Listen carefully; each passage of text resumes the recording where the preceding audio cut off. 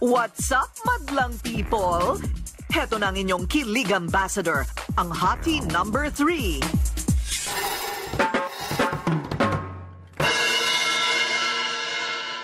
Handa na ba kayo? Bago pa maging member ng hashtag sa It's Showtime. Hustler na raw sa pagpapakilig si Ronnie Alonte, lalo na sa basketball court. Naging varsity player siya sa University of Perpetual Health sa Laguna. At mas nadagdagan pa ang mga tumitili at kinikilig kay Ronnie nang siya ay mag-showbiz. Two years pa ako nag-antay. Puro workshop ako, apat na workshops.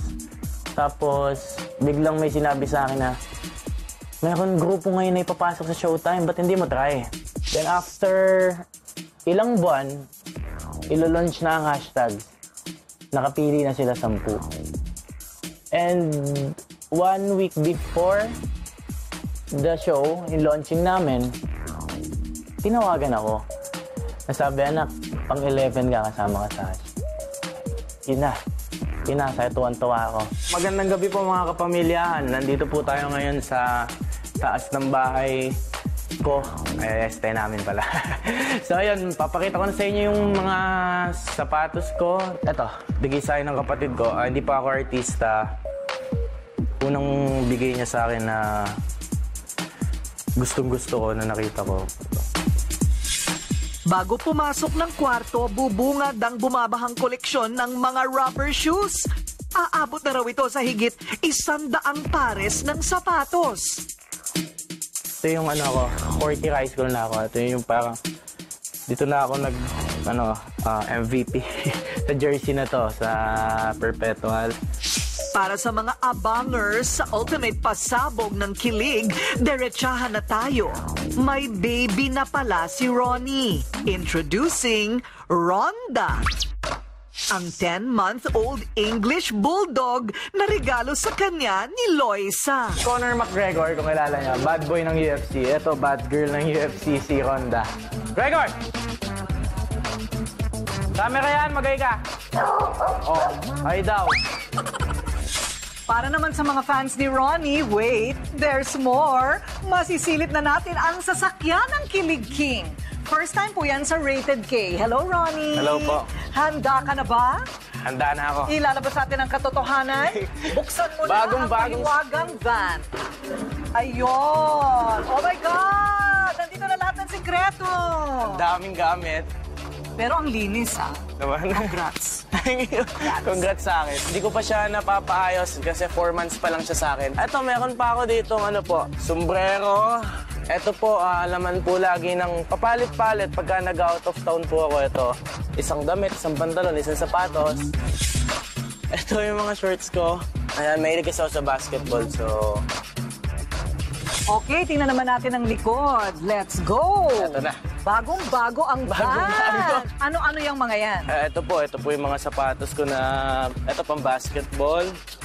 Tapos ito pa yung iba na nandito na yung mga pants na joggers. Okay. Dinala ko lang po, bale, yung lagi kong ginagamit sa showtime ko na, everyday.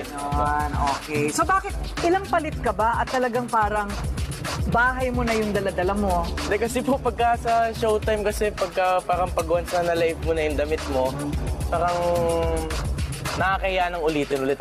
Ganon? Ah, oh, ganon. Parang ganon. Opo. Meron siyang iniwasan na i-describe sa atin, ito yun, no? Ito yun, no? O, di ba? Tanungin natin ngayon kung kanino galing ang Fila rubber shoes na ito. Kay Loisa po. Pakiulit. Okay. Kay... Kay Loisa. So, totoo ang chismis. na ano po? Totoo ang chismis, kayo na talaga.